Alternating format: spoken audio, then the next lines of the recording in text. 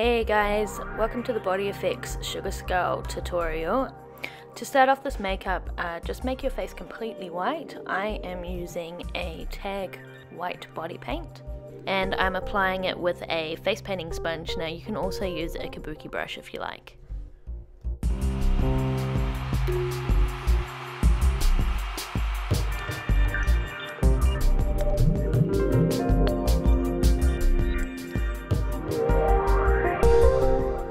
So when your face is completely white, uh, go in with another color and contour your face.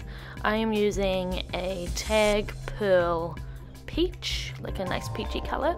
And yeah, I'm just going in underneath my cheekbones, a little bit around my hairline, a little bit under my jaw, and a bit in the temples as well.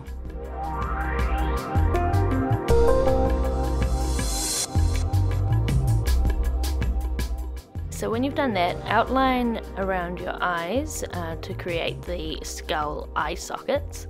Uh, for this I am using a small round brush and some black body paint.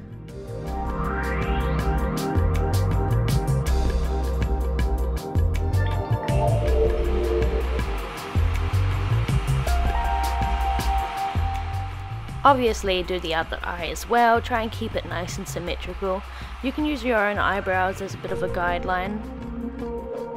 And after you've done that, create a nice little skull nose and also outline the temples.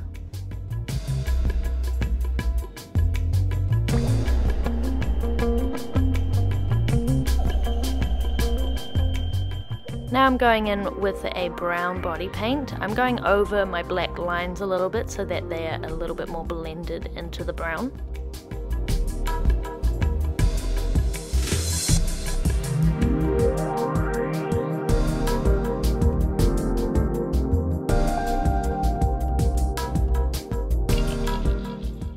Remember to fill in your temples as well and I also added a little bit of brown just to my nose.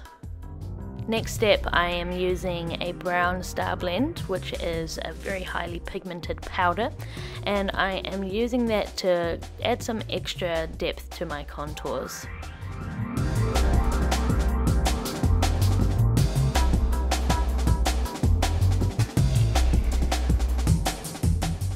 Using the same powder I'm going to be using our badass stencils uh, and I'm just going to add a little extra texture and detail to the base.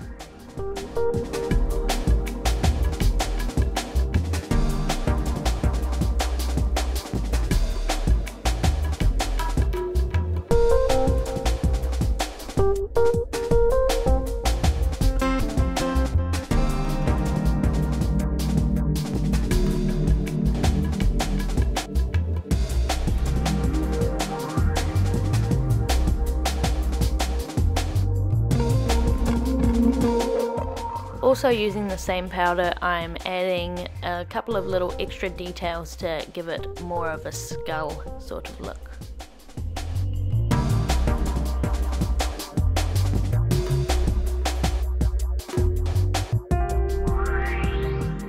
I'm also adding a couple of little shades next to my eyebrows to give me more of a mean look.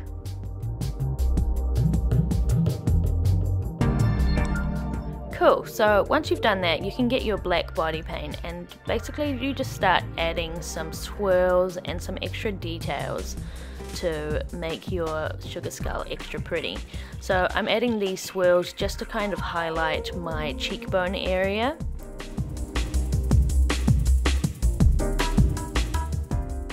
And I'm also intensifying those frown lines a little bit. You can choose to add a lipstick if you want, um, otherwise you can just leave your lips white. Now I'm adding the extra details around the mouth to really give it that skull look.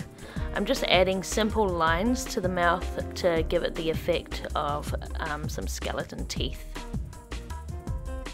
I find that these simpler lines look a little bit nicer and also they take way less time than drawing the full teeth. And while I've still got my black on my brush, I'm just adding some extra little details here and there. And now it's time to add your little prosthetics. So you can get these from Body FX. Uh, you just apply a little bit of Pros-Aide onto the back and they glue onto the face really easily.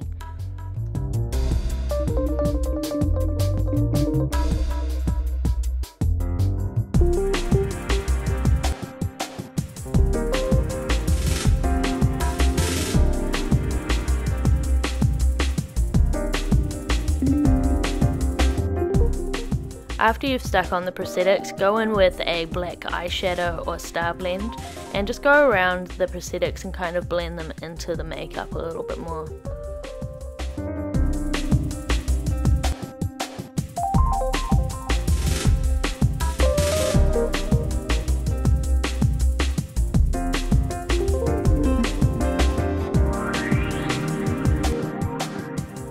Still using my black Starblend, I'm just going around the face and adding a little bit of extra shading to the areas that might need it. I'm just going in around the mouth and doing some extra shading under the cheekbones.